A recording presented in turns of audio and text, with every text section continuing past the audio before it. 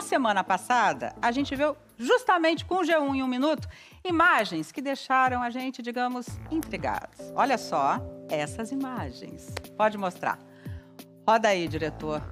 Bom, as imagens que a gente vai ver daqui a pouquinho, aqui está passando é a cidade, né, onde aconteceu. A gente vai ver agora sim, brinquedos de um parquinho numa praça se mexendo sozinhos. Tem gira-gira, tem balanço, tem rema-rema.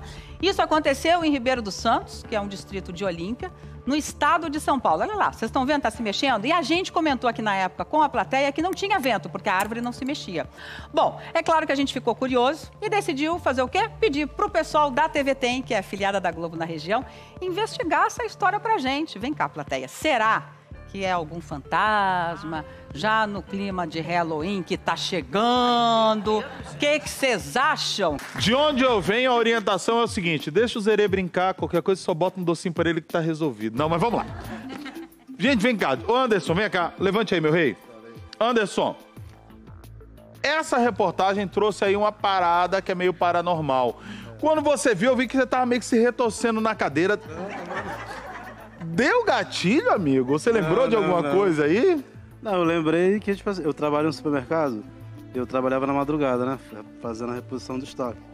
E eu trabalhava só, então, uma certa hora, entre meia-noite, uma hora, ficava caindo algumas coisas das prateleiras. Uhum. Biscoito e tal, aí eu saía e colocava no lugar de volta.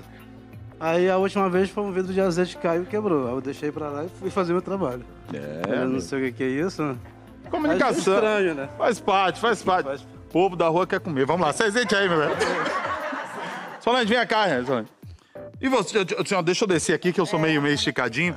É, você também, quando eu tava vendo, eu vi que você tava meio aqui. O que, que aconteceu, menina? É, quando eu ainda era casada, eu dormindo, né? Eu e meu marido tínhamos brigado, ele dormindo no sofá e eu num, num outro canto. E na madrugada, por volta de 5 horas da manhã, acordei com um sino de tipo de cemitério batendo, acordei assustada assim. E quando olhei pro pé dele, tinha um menino.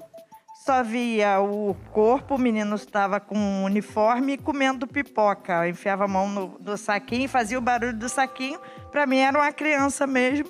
Fiquei olhando tal. Mas aquilo, de repente, foi escurecendo, escurecendo, e a criança ali, com a luz só na cabeça, não dava para ver o rosto, começou a me dar um pânico, né? O medo começou a me dar medo. Eu fui, comecei a rezar, fechei os olhos, escutei um barulho, como se estivesse levantado. Eu falei, é gente. Quando eu olhei, o meu ex-marido tinha esticado as pernas e a criança não estava lá. E eu fiquei acordada para provar para minha ex-sogra, que ela não acredita, que não que eu tinha visto alguma coisa. Não era sonho, né? Que sempre era sonho. Eu acho que o negócio era assim, ó, era um, um, um fantasma que queria que você agarrasse seu marido e acabasse com essa briga. Eu, eu, assim, ó, eu acho que era isso, era pra dar uma paz. e- Eu fiz isso. Depois, depois você Depois. fez isso, né? Conseguiu dormir, né? Na mesma noite? Conseguiu dormir direitinho? Mais. Já Não dormiu mais, perdeu o sono. É o fantasma querendo chamego, meu Ó, povo. só pra dizer uma coisinha pra vocês, que a gente consultou os físicos, eles foram unânimes na explicação. Eles falaram que não tem assim por vídeo como, né, você dizer que fenômeno é.